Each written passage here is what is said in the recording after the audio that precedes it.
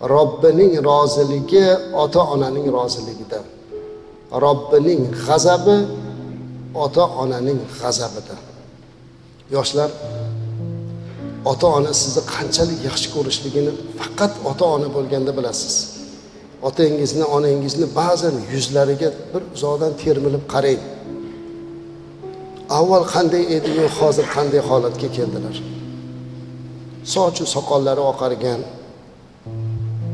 yuzlariga ajin tushgan qaddilari bukilgan butun hayotini sizga baxshida qilgan va sizga biror marta shikoyat qilmagan bu chehra bu yuz bir kuni yo'q bo'ladi.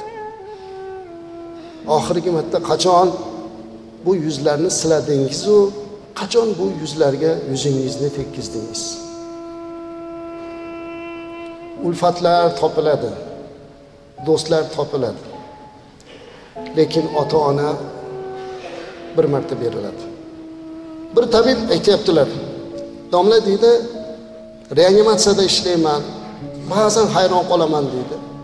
Biror bir insonni bolasi reanimatsiyaga tushib qolsa chiqib aytamiz otasiga deydi siz ketavering baribir ichkariga kirmaysiz biz qarab turibmiz bir korxol bo'lsa biz xabar beramiz deb aytsak yo'q man shu yerda turaman deb o'sha zaxda betonda yoki ko'chada yotib qoladi deydi bolasidan deydi.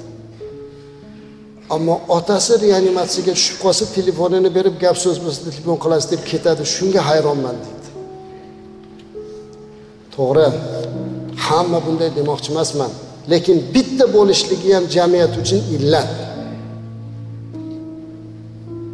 Alloh umrlaringizni uzoq qilsin ichingizda otangizga jonimni beraman deganlar o'tiribsiz. Lekin jamiyatda bor ekanda bitta bo'lsa ham.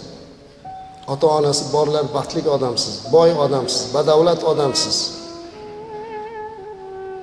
Lekin buni qadriga yetish har birimizni vijdonimizga havola.